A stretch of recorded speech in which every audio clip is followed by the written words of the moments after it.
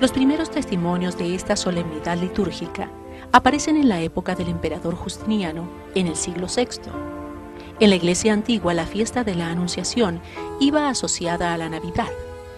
Al aumentar la importancia de la Natividad del Señor, se formó un pequeño ciclo navideño y la Anunciación cobró más autonomía respecto al núcleo primitivo hasta constituirse en fiesta mariana autónoma. El Papa Sergio I en el 687, introdujo esta fiesta en la iglesia romana. Se celebraba una solemne procesión a Santa María la Mayor, basílica con mosaicos referidos a la divina maternidad de María, establecida por el concilio de Éfeso en el 431. Desde el principio la fiesta se estableció el 25 de marzo porque Jesús se había encarnado coincidiendo con el equinoccio de primavera tiempo en el que, según los antiguos, fue creado el mundo y el primer hombre, como lo comenta Anastasio Antioqueño en el 599 en su homilía sobre la Anunciación. Los santos padres nos dicen acerca de este día. Hoy ha llegado la alegría de todos, que absuelve de la primitiva condena. Hoy ha llegado aquel que está en todas partes, para llenar de júbilo todas las cosas. Este es el día de una buena nueva de alegría. Es la fiesta de la Virgen. El mundo de aquí abajo se toca con el de ahí arriba.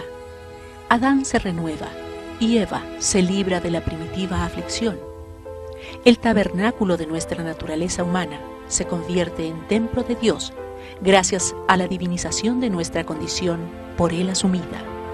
Oh misterio, el modo del advenimiento de Dios nos es desconocido el modo de la concepción queda inexpresable. El ángel se hace ministro del milagro. El seno de la Virgen recibe un hijo. El Espíritu Santo es enviado.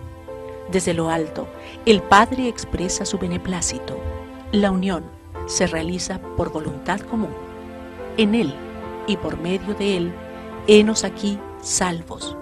Unimos nuestro canto al de Gabriel y cantamos a la Virgen Ave llena de gracia, a través de ti llega la salvación. El Cristo nuestro Dios la ha tomado nuestra naturaleza y nos ha elevado hasta Él. Ruégale por la salvación de nuestras almas. Hoy se inicia nuestra salvación y la manifestación del eterno misterio. El Hijo de Dios se hace Hijo de la Virgen y Gabriel anuncia la gracia. Con él decimos a la Madre de Dios, Salve llena de gracia, el Señor es contigo. A ti, capitana, que por nosotros combates, nosotros, tus siervos, salvados de los peligros, dedicamos el himno de victoria como canto de agradecimiento, oh Madre de Dios. Pero tú, que posees una fuerza invencible, líbranos de todos los peligros para que podamos cantarte. Alégrate, oh esposa inviolada. En la Anunciación, es donde se ha realizado el misterio que sobrepasa todos los límites de la razón humana, la encarnación de Dios. Esta fiesta es el canto proemial de una alegría indecible.